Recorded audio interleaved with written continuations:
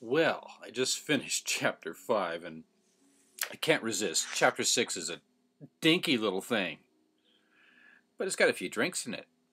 So, I finished off this.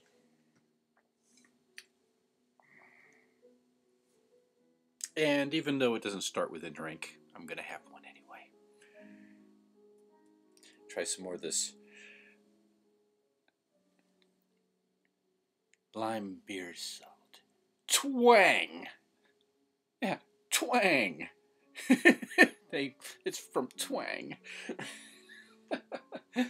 I love it. Ooh. Boy, just wakes it right back up again. Look at all those bubbles. Mm-hmm. Ah, mm, different. I kind of like it. And now, King Benjamin thought it was expedient, after having finished speaking to the people, that he should take the names of all those who had entered into a covenant uh, with God to keep his commandments.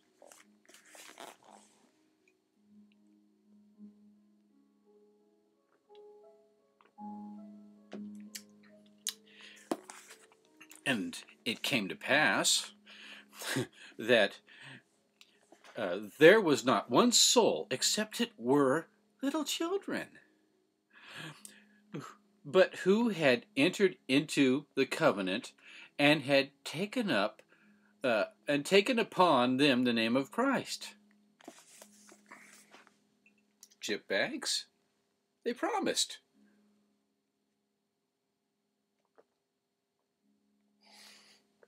But you can always sucker those kids. You can believe almost anything. They're so meldable. What's that word? A Jesus camp term? They're so useful. Is that it? Usable? Nice. Isn't that just sweet and loving? Yeah, useful. They, they, they hold those bomb vests up so nice. Oh, that's right. Wrong bunch. Give them time. And again, it came to pass that when King Benjamin had made an end of all these things and had consecrated his son Mosiah to be a ruler and a king over his people, like what, two, three chapters ago? God damn. and had given him all the charges concerning the kingdom. Makes sense if he made him king. And also had appointed priests to teach the people. I mean, all right, fine, whatever. Not leaving him much to do, huh? Getting clearing, cleaning up house, tying up loose ends. Yeah, that thereby they might hear and know the commandments of God, and to stir them up in remembrance. Boy, that phrase keeps coming up, doesn't it? It still sounds boring. uh, of the oath which they had made. Oh. oh, that was a tough one. Oh, get caught in my throat.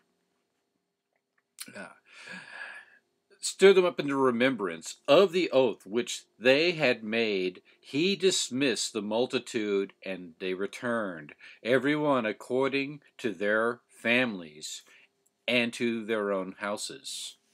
Because you wouldn't want to go into someone else's house and start living there and they come home, That's going to be a problem. And Mosiah began, uh, uh, that's right, Benjamin just going out to pasture. And Mosiah began to reign in his father's stead, and he began to reign into 13th year of his age, so he's 13 years old, okay, uh, making in the whole about 476 years from the time that Lehi left Jerusalem. Hmm. Yeah, which is, of course, uh, yeah, 124 uh, BC. Got 124 years before JC even pops up. And they were already worshiping his death and resurrection and splattered blood and all that shit. Pretty morbid. Uh, And King Benjamin lived three years and died. Thank you. And it came to pass, and so did he, that old fart. he can be happy joining the rest of the dust, because he seemed pretty fixated on that.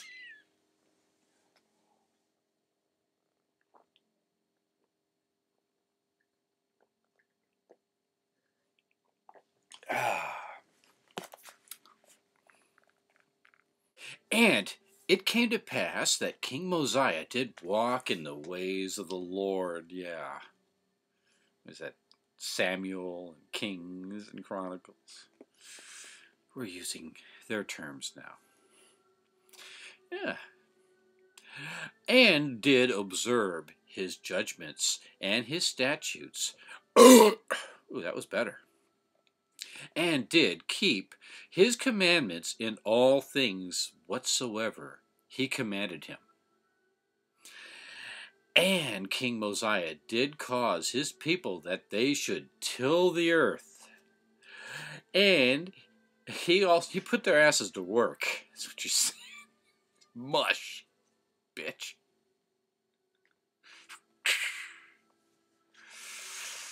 And he also himself did till the earth. Yeah, he probably faster.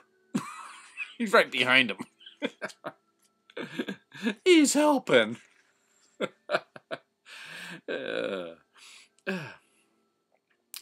that thereby he might not become burdensome to his people. Right.